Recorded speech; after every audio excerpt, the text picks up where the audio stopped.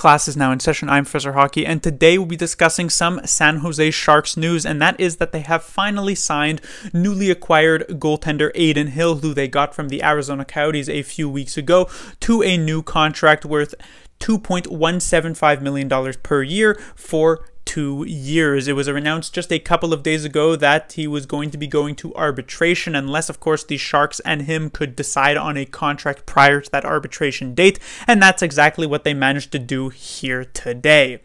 In terms of the years, this is actually a very solid deal for the San Jose Sharks. Two years makes a lot of sense for a player like Adin Hill, who does have a bit of NHL experience, but certainly not a ton of NHL experience, and certainly not as a starter, which looks like he will not necessarily necessarily be next season, but he'll at the very least get a good 30 to 40 games, if not a good amount more than that, going into the next season, sharing the net with James Reimer. So two years seems very fair. What is also good for the Sharks with this two years is that the Sharks actually have a decent amount of solid goaltending prospects who can be making some progress over these next couple of seasons. A player like Melnichuk might be relatively close to making it to the NHL. So having Adin Hill just on this two year deal, and then at the end of the deal, sort of reevaluating where the Sharks are goaltending wise, will be very very solid for them.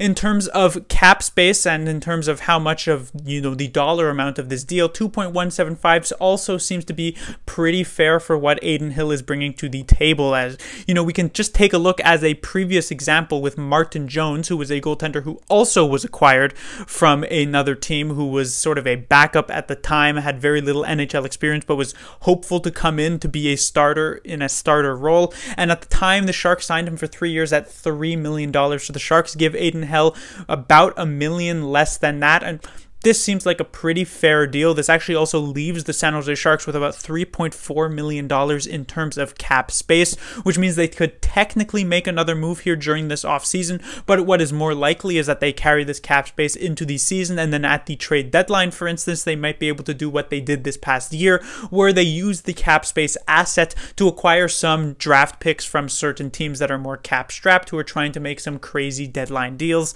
As I said, they did this last year with the likes of the Vegas Golden Knights, assisting them in getting Mattias Janmark and as well as helping out the Toronto Maple Leafs in getting Nick Foligno. There is technically the very, very off chance that the Sharks are going to try and make a playoff push of their own at the deadline next season and they can use this cap space to try and acquire some sort of rental player, but that's basically a one in a million chances. I don't think the Sharks, especially with what we know in these past couple of days, what has happened with some of these Sharks players, or one Sharks player in particular, uh, cough cough Evander Kane, it is very unlikely the Sharks will be making any sort of playoff push. So this cap space will likely be used as an asset to acquire more draft picks at the trade deadline is my best guess. But in the end, a very solid offseason from Doug Wilson in signing players that are going to be helping out the Sharks here or there, at least from the you know factors that the Sharks can control.